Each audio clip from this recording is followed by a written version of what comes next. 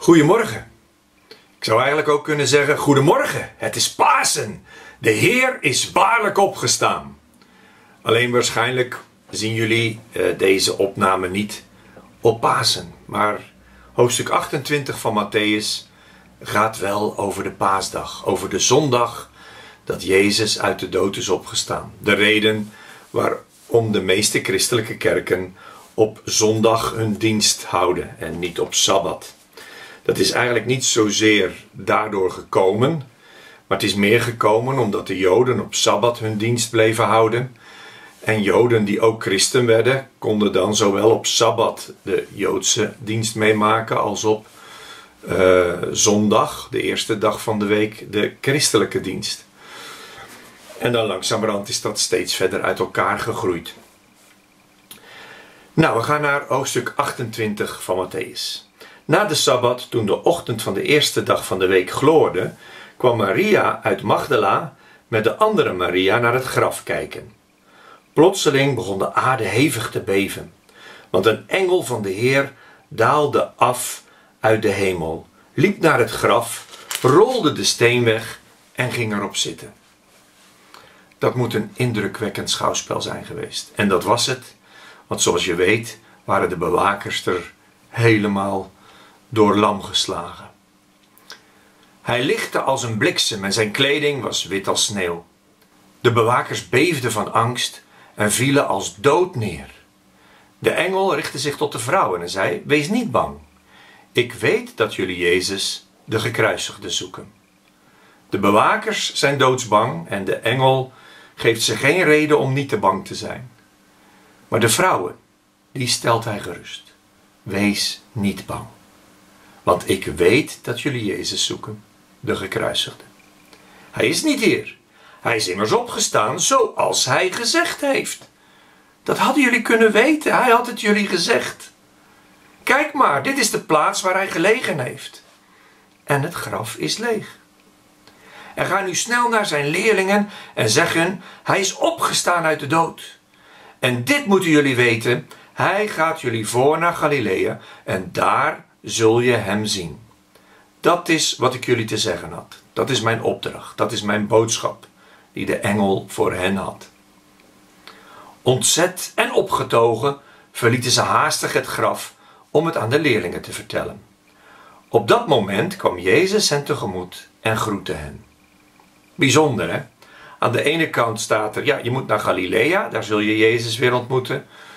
Maar Jezus is waarschijnlijk, ja, zo verlangend om zijn eigen mensen weer te zien en te laten zien dat hij daadwerkelijk uit de dood is opgestaan, dat hij ze tegemoet komt. Ze liepen op hem toe, grepen zijn voeten vast en bewezen hem eer.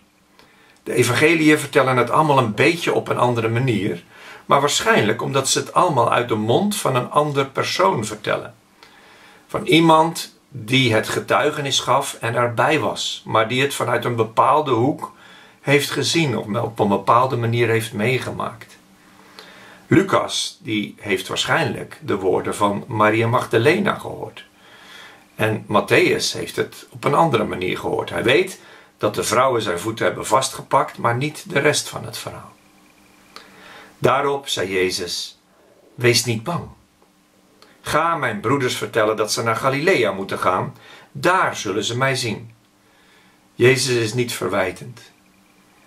Hij wist dat ze verblind waren en het niet konden zien. En daarom herhaalt hij gewoon zijn opdracht. Ga naar Galilea. Daar zullen we elkaar ontmoeten. Daar zal ik mijn Heer ontmoeten. Luisteren naar zijn liefdestem. Daar geen rouw meer en geen tranen. Maar goed, dan gaat het over de hemel. Terwijl de vrouwen onderweg waren, gingen enkele van de bewakers naar de stad. Daar vertelden ze de hoge priesters alles wat er gebeurd was. Die vergaderden met de oudsten en besloten de soldaten een flinke som geld te geven en hen op te dragen: Zeg maar, zijn leerlingen zijn s'nachts gekomen en hebben hem heimelijk weggehaald terwijl wij sliepen. Zouden ze het verhaal van die engel geloven of niet geloven? Als het Sadduceeën waren, waar ze het kwamen vertellen, dan zouden ze, zouden ze die soldaten sowieso niet geloofd hebben, want engelen bestaan voor hen niet. Als het fariseeën waren, dan zouden ze het wel geloofd hebben dat er een engel was. Maar kun je er dan zo weinig serieus mee overweg dat je gewoon zegt: ja, maar we zwijgen het dood? Je ziet ook hè, dat er ook hier al omgekocht werd. Ze gaven hen een flinke som geld uit de schatkist van de tempel, denk ik. Dus bloedgeld ook weer. Om te liegen. Je ziet dat het heel inconsequent kan zijn. En helaas, geestelijke leiders kunnen soms heel inconsequent zijn. Daarom moeten we ook kritisch zijn op onze geestelijke leiders. Het zijn mensen die kunnen falen. En als ze falen, dan moeten ze zich terug bekeren en moeten ze dat ook erkennen dat ze gefaald hebben. Want ook zij moeten om vergeving vragen als ze dingen verkeerd hebben gedaan. Dat is onze taak, dat is onze opdracht. Niemand staat boven de ander. We zijn allemaal aan elkaar gelijk. Al geeft de een soms wel leiding aan de gemeente. Maar daarmee is hij niet hoger dan de mensen in de gemeente. Vertel maar een leugen. Zeg maar dat ze hem weggehaald hebben terwijl wij sliepen. Dat was immers de reden dat juist in het vorige hoofdstuk, hoofdstuk 27, vers 64, er gezegd werd: uh, De leerlingen die zullen hem heimelijk weghalen en zullen ze tegen het volk zeggen: Hij is opgestaan uit de dood. En de laatste leugen zal nog erger zijn dan de eerste. Als de leerlingen het gezegd zouden hebben en gedaan zouden hebben, dan zou het een leugen zijn. En dan zouden ze zeker streng gestraft moeten worden. Maar nu is het een leugen van de hoge priesters en van de fariseërs en de schriftgeleerden. En dan mag het. Leugens van die mensen, die zijn anders. Ik weet niet hoe God daarmee om zal gaan. Maar ik ben bang dat hij er bepaald niet lichtzinnig mee om zal gaan. En mocht dit de prefect ter oren komen, dan zullen we hem wel bepraten en ervoor zorgen dat jullie buiten schot blijven. Want normaal gesproken, als een soldaat zijn bewakingsopdracht niet goed had gedaan, dan werd hij gedood. Op zijn minst zou hij een hele strenge bestraffing krijgen. Zij gingen ervoor zorgen dat de soldaten buiten schot bleven en dat de leugen werd geloofd. Ze gaan tegen God in en ze gaan tegen een engel in, die door God is gezonden. Hoe ver kun je zakken? Hoe ver kun je afgedwaald raken van God? Terwijl je formeel in zijn dienst staat. Ze namen het geld aan en deden zoals hun was opgedragen. En tot op de dag van vandaag doet dit verhaal onder de Joden de ronde. Nou, Matthäus schrijft een van de eerste evangeliën, dus blijkbaar op dat moment wordt dat verhaal nog steeds verteld. Ik denk dat het nu niet meer zo in zwang is onder de Joden, ehm, maar uh, toen blijkbaar nog wel. Uitzending van de leerlingen. De elf leerlingen gingen naar Galilea, naar de berg die Jezus hun had genoemd. En toen ze, zich toen ze hem zagen, bewezen ze hem eer, al twijfelden enkele nog. Die berg is waarschijnlijk de berg waar zij ook tot discipelen gekozen waren. Waar waarschijnlijk ook een van de wonderbare spijzigingen is geweest. Jezus kwam op hen toe en zei: Mij is alle macht gegeven in de hemel en op aarde. Dit doet ons denken aan iemand die dat ook al min of meer eens zo gezegd had. En dan gaan we eventjes naar 2 Kronieken 36 vers 23. 2 Kronieken 36 vers 23. Het eind van Kronieken. Daar staat, en ik lees vanaf vers 22.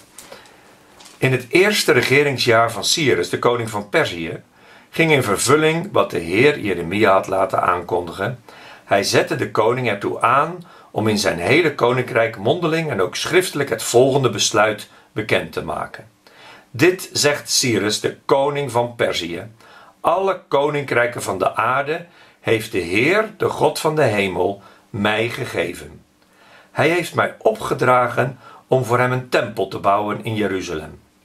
Maar je ziet dus alle koninkrijken van de aarde heeft de Heer, de God van de hemel, mij gegeven. En Jezus heeft een claim die nog veel hoger gaat. Want Jezus zegt: Mij is alle macht gegeven in de hemel en op de aarde. Overal. Hij is de Almachtige. Alle macht is aan Hem gegeven. Daarom komt Hem ook de eer toe. En daarom moeten we ook respectvol met Hem omgaan. Hij is onze Heer. En wij zijn Zijn dienstknechten, Zijn slaven. Ga dus op weg en maak alle volken tot mijn leerlingen, tot mijn discipelen, tot mijn leerlingen, door hen te dopen in de naam, en nee, en hen dopende staat er eigenlijk, maar goed, door hen te dopen in de naam van de Vader en de Zoon en de Heilige Geest. Uh, je krijgt dan een klein beetje een verdraaiing, want je moet ze, de volken, tot zijn leerlingen maken. Hen dopende in de naam van de Vader, de Zoon en de Heilige Geest. Dus je maakt hen tot hun leerlingen. En dan doop je hen in de naam van de Vader en de Zoon en de Heilige Geest. En hen te leren dat ze zich moeten houden aan alles wat ik jullie opgedragen heb. Het houdt niet op bij de doop. Dan begint het. Wij moeten ons leren te houden aan alles wat Jezus ons heeft opgedragen. En houd dit voor ogen. Ik ben met jullie alle dagen tot aan de voltooiing van deze wereld. Ik ben met jullie alle dagen, ook deze dagen. Onze mooie dagen, onze moeilijke dagen. Hij is met ons tot aan de voltooiing van de wereld. Hij is met ons. Waar doet ons dat aan denken? Dat doet ons denken aan het begin van Matthäus. Matthäus 1, vers 23. Want wat staat daar in Matthäus 1, vers 23? De maagd zal zwanger worden en een zoon baren, en men zal hem de naam Immanuel geven, wat in onze taal betekent God met ons. Er is dus een inclusie, een inclusio tussen het begin van Matthäus en het eind van Matthäus. In het begin wordt Jezus aangekondigd, de Immanuel, de God met ons. En aan het eind zegt hij: Ik ben degene met de hoogste macht in hemel en op aarde. Want ik heb de dood overwonnen. Ik heb de opdracht volbracht. En ik heb de mensen hun relatie met God hersteld en hun straf gedragen. Mij is gegeven alle macht in de hemel en op aarde. En houd dit voor ogen. Ik ben met jullie alle dagen tot aan de voltooiing van de wereld. Maranatha. Jezus komt. Verwacht jij Hem? Verwachten wij Hem? Zullen we bidden? Heer, dank u wel dat we in deze tijd door Matthäus heen mochten gaan. Dank u wel, Heer, dat we uw evangelie, uw goede boodschap, uw blijde boodschap tot ons konden nemen. Heer, en dat we juist in deze moeilijke tijd die goede, die blijde boodschap tot ons door mogen laten dringen. U hebt alle macht in hemel en op aarde en niets gebeurt zonder dat u daar de controle over heeft. Help ons daarom, Heer, om ons aan u toe te vertrouwen en ook uw opdrachten te vervullen. Namelijk mensen tot leerlingen van u te maken.